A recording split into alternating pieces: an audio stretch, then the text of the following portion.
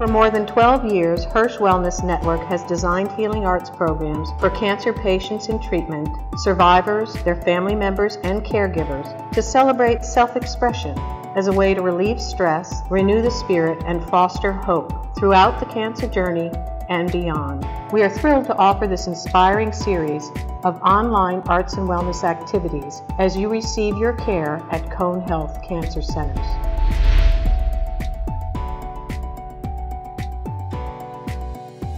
My name is Mavis Liggett, and I'm an artist in residence for Hirsch Wellness Network. I'm so glad you've joined me today for this healing arts activity, capturing light and all the colors in the rainbow, with two different mandalas that you have in your package. This mandala has clear areas that we're going to color, and then you can hang this in the window.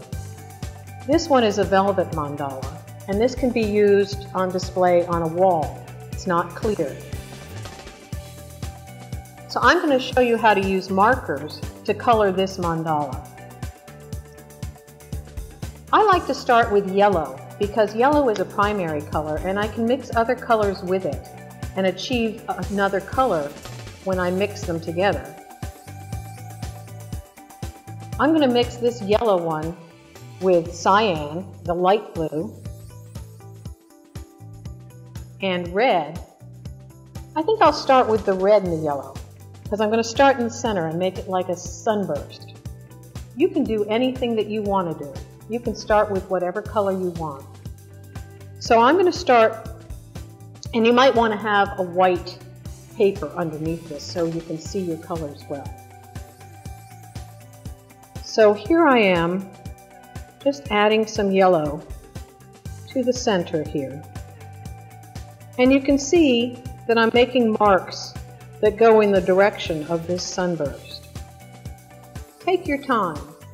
You don't have to do what I'm doing. Do what feels right to you. Use the colors that you love.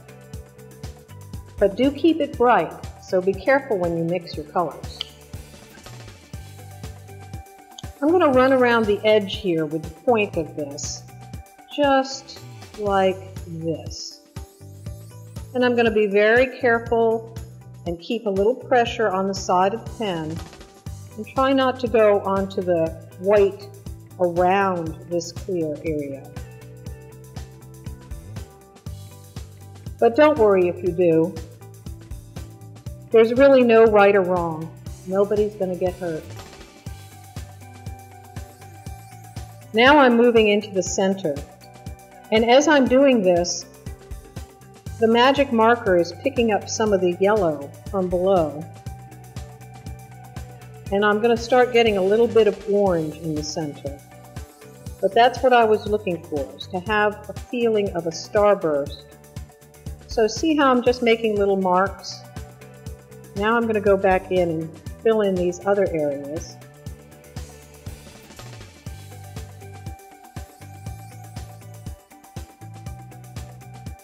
So while we are doing this activity, we're not thinking about anything else. We're thinking about the next mark we're going to make, the next color we're going to use, what we think about what we just, do I like it like this? Do I want to add some little dots to this? Do I want to Oh, I like that. I think that looks like fun. Now I'm going to go ahead and pick up my cyan, and this is the lighter blue. You may not have the cyan in your kit, you may have a darker blue, but I'm going to start with this light blue. And on this, I'm just going to, again, go around the edge.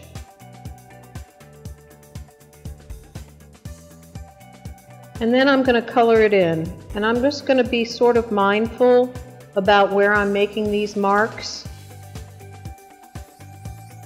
trying to touch the line I made before. I'm just going to take my time. There's no rush.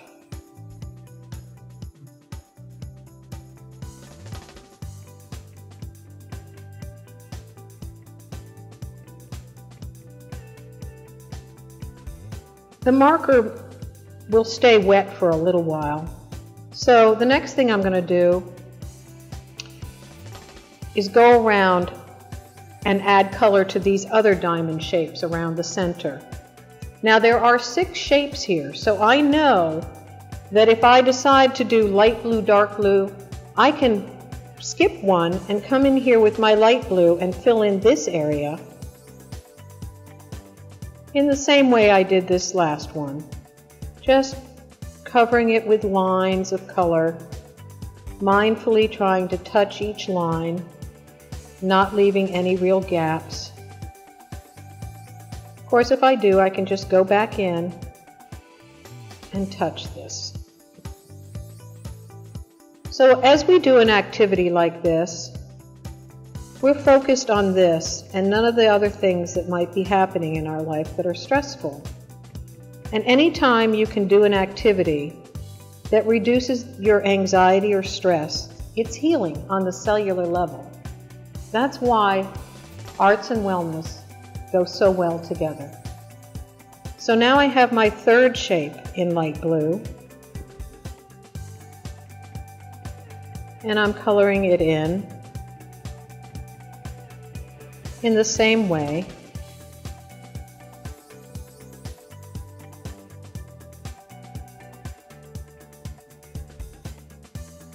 Now I'm going to think, what color do I want to go in the other three? And I think I'm going to go with the dark blue. I like blue and orange together. They're complementary colors. And that center sort of has a orangish look to it because of the yellow and the red together. Complementary colors together look really great. It's when we use complementary colors on top of one another that we get a result that we might not want.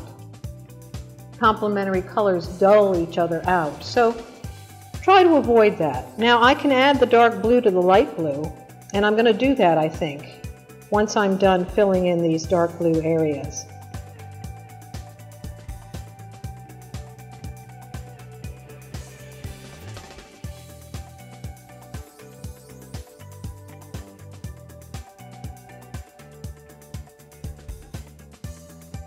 So I said I wanted to come back in and do something in the center of the light blue area. You might want to hold this up and just take a look at what I've done so far. So I'm going to add some something to the center of this. And I think, well, first I think I'm just going to take the dark blue and run it around this edge like this. Just encase that light blue with a dark blue outline.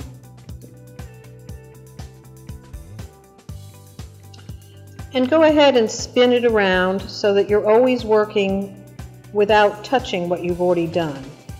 Like I said, these pens will dry, but they, it takes a little while, so you don't want to run your hand over it.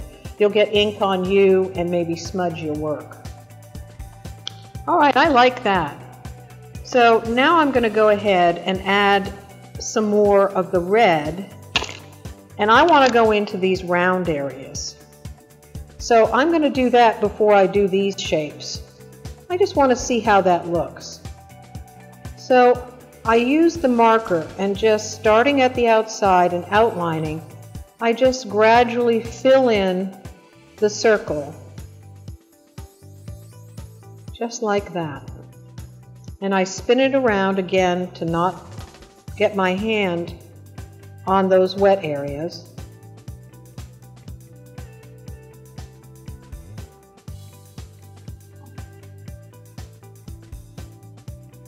Oh, I like the way that looks. Now I'm going to go back to the yellow, and I'm going to do the larger circles in yellow.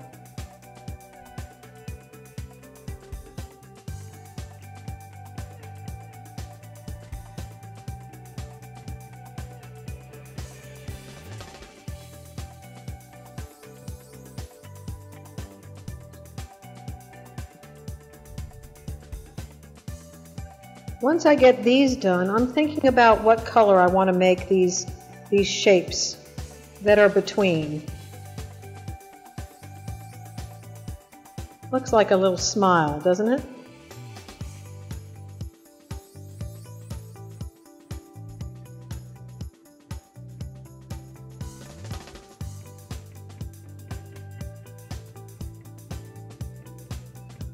So for the these smile shapes, I believe I'm going to make those more orange.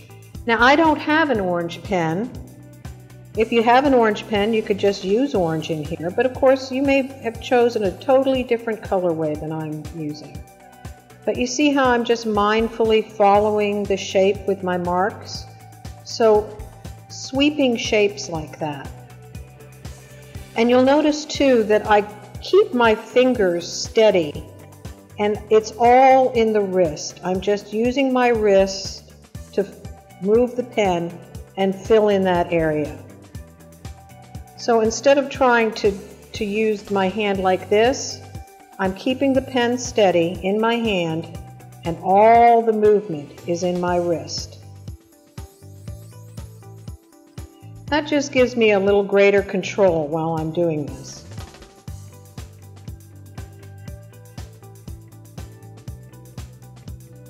Oh, I like the way that looks.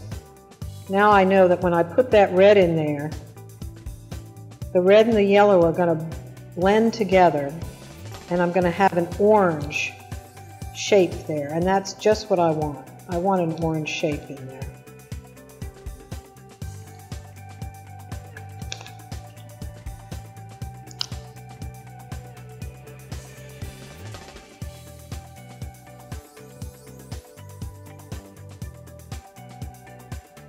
So in your package, you'll have a variety of pen colors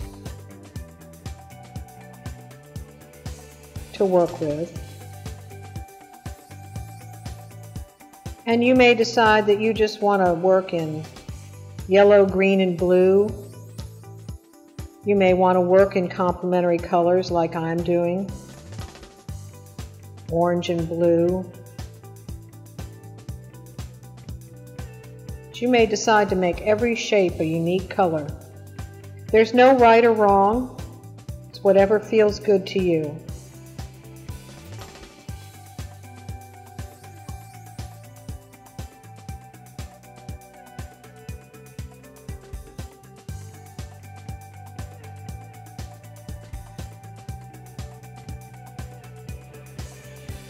Oh, I think that looks great. Now I'm not going to complete this one, but I am going to show you another thing that you can do to make it kind of fun.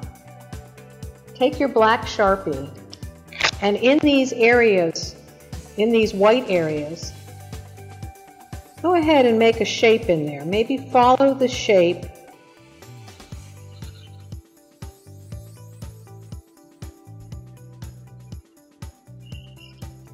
and fill it in.